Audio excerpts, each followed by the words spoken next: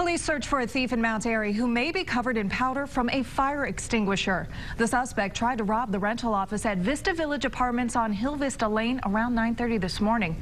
Local 12's Larry Davis joins us live from Mount Airy with more. And Larry, what have you learned? Well, Tiffany, an amazing story of bravery here. As you mentioned, a man uh, walked into the rental office here at the Vista Village apartment complex here in Mount Airy. He uh, demanded that the apartment manager uh, turn over some money. Well, the apartment manager was not going to give up without a fight. She ended up shooting that suspect with a fire extinguisher. Cincinnati police were called to the Mount Airy apartment complex right around 9:30 this morning. At first, it was reported as a home invasion robbery, but in fact, it was the office here of the complex that was being targeted. Police say a black man wearing a red bandana around his face uh, walked into the office, pointed a gun at the office manager several times, and demanded money from the safe. And 72-year-old Cheryl Arnold, who is the manager here, decided to fight back.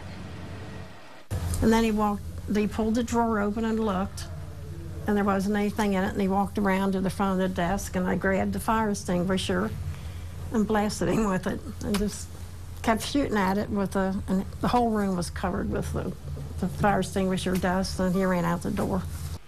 And the suspect, as Cheryl told us, was covered from head to toe with the dry chemical from that fire extinguisher. That the dry chemical from the extinguisher also covered much of her office, her desk, and the carpet and the cleanup of her office is no doubt uh, the least of her worries right now. And even hours, just a few hours after uh, having a gun put to her head, Cheryl was still answering the phone here and continuing to work. But her uh, boss here tells us that he will be sending her home shortly for the rest of the weekend. Now back out here live, Cincinnati police say they had a canine unit out tracking the suspect through the neighborhood. There was one report that he may have gone into one of the uh, apartments here uh, that uh, apparently turned out to be unfounded, uh, but they did lose a track on him, and at this hour, he is still on the run. Good news is no, no one was hurt, no money taken. Live in Mount Airy, Larry Davis, Local 12 News. Tiffany, back to you. Larry, thank you very much. Wow, quick thinking by that manager there. I cannot believe how cool, calm, and collected she acted. Yeah, she was.